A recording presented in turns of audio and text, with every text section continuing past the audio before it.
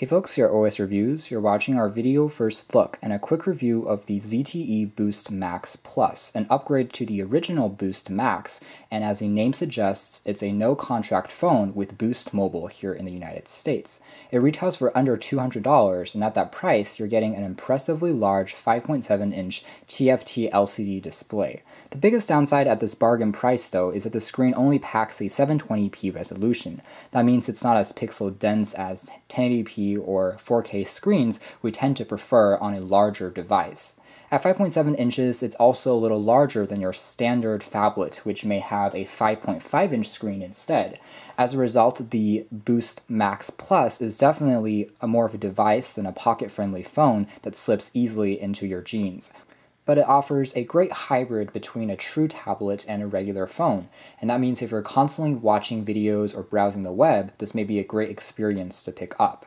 It's similar to a Samsung Galaxy Note series uh, product, but obviously at a fraction of its cost. Other specifications are also entry level. We have access to a Snapdragon 410 processor, which is a 64-bit processor, which is clocked at 1.2 gigahertz. It's a quad-core chipset, coupled with 2 gigabytes of RAM. So it's nice that they gave us, you know, more than the standard 1.5 gigs we find on these lower-priced phones on prepaid networks. There's also 16 gigabytes of built-in flash storage that's expandable via a micro SD card slot on the back. However, the built-in 3400 mAh capacity battery isn't user replaceable.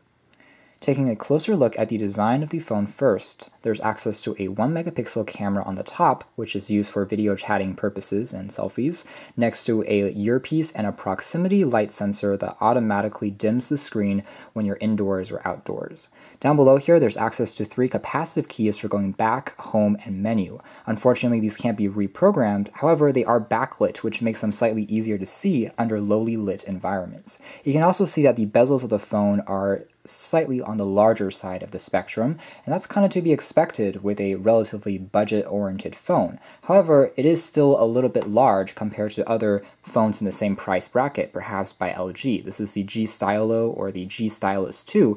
Offers the same screen size at 5.7 inches, but you can see how the bezels and the overall form factor is just a little bit smaller and slimmer. The Boost Max Plus also weighs in at 195 grams, which is definitely on the heavier side for a phone that's made predominantly out of plastic instead of aluminum or metal. On the side, there's access to a dedicated power switch, which is tactile and responsive, and there's also a two-stage camera shutter key, which is easy to use for capturing images. What is good is ZTE allows you to reprogram all of the hardware keys, so you can potentially remap these for other functions, like going back or going to the multitasking drawer. The back here, you can see, looks like brushed aluminum, but in fact it is just made out of plastic, just like on the original Boost uh, Max. You have access to the ZTE logo, a loudspeaker that unfortunately, again, is placed on the back, but it does get pretty loud. And what is good about the sound is ZTE used Dolby uh, Digital's kind of mobile software to enhance the audio quality, and that really does make a difference when you have headphones plugged in. There's also access to an 8 megapixel autofocus enabled camera with an LED flash. Now, this is a one piece design, but the top cover here can be peeled back to have access to a micro SIM card slot. Interestingly, the micro SD card slot has been moved to the side in what resembles a SIM card tray. You do need a SIM ejector tool to open it up. There's also access to a volume rocker, and there's a standard micro USB port for charging. Fully charging up the phone takes roughly 3 hours to complete, so despite the slightly larger 3400 mAh capacity battery, it's still relatively swift to charge up the phone, and it will last you for roughly 2 days before you need to recharge it again, thanks to a lower resolution display and the Snapdragon 410 processor, which is very energy efficient. So before we take a look at the software, let's do a brief size comparison. Again, this phone has a 5.7 inch screen, but you can see that in terms of the overall dimensions, quite similar to the LG G Flex, and this has a 6 inch screen. So again, ZTE did go for a slightly more conservative look. We wish that the bezels were slightly smaller, but at least it is relatively slim, making it easy to still grip and hold in the hand. Again, next to the G Stylo 2, which is very similar both in price and availability through carriers. And finally, a more traditional kind of 5 inch phone, which I think is more of a standard size phone, and you can kind of see the size difference there. So overall, I would say that it's more similar to a 6-inch form factor than a 5.5-inch phablet. Turning the screen on, we're greeted to a fairly traditional version of Android 5.1 Lollipop. There are some tweaks done by ZTE, such as long pressing on the uh, lock screen to enter the home screen, which is pretty convenient, and some other bloatware and apps that are, come courtesy of Boost Mobile, but most of these can be uninstalled if you want to. And overall, it's a fairly swift and responsive uh, Uh, user interface that we've come to expect since the 410 is a tried and tested chipset. With that being said, it's no longer running on the latest version of Android, which is both to be expected on a budget phone and also on a device that has been released for some time on the market now. Regardless, it's still a very nice and smooth experience, and all the apps that you want to install from the Play Store can still be done. So taking a closer look here at the home screen, we have access to a few proprietary ZTE widgets, which also displays your time and your weather information. There's a Google Now search bar on the very top, and I can drag down to have access to the notification shade that gives me a few other options for Wi-Fi, GPS, Bluetooth, and the essentials. This is a 4G LTE phone, so no problems there. Now what is also apparent about the ZTE Boost Max, like most of ZTE's phones, is the screen is very bright, especially when compared with an LG panel, and that really comes in handy if you're outdoors because the screen still remains visible under good lighting environments, which is quite impressive. Otherwise, the screen remains fairly sensitive and it's protected by Corning Gorilla Glass, so you have some durability, although I still wouldn't recommend dropping it since it's not really a rugged phone. Taking a closer look down below, there are access to traditional Google apps pre-installed, so you have access to the standard Google search, Chrome, Gmail, Drive, YouTube clients, Google Hangouts, uh, and the standard suite of entertainment and productivity tools.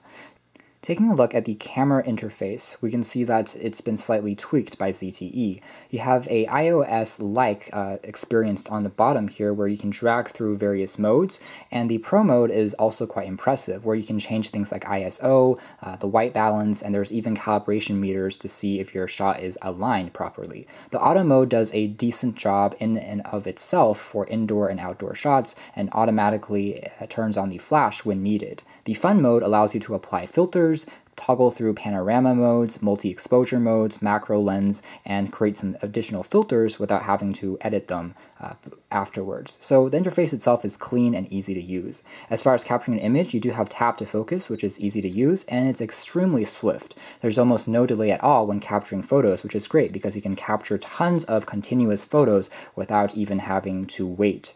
Uh, the phone itself is also quite responsive in this regard, and for the most part, even though colors aren't the most vibrant or saturated, it remains a good experience for sharing your images with social media.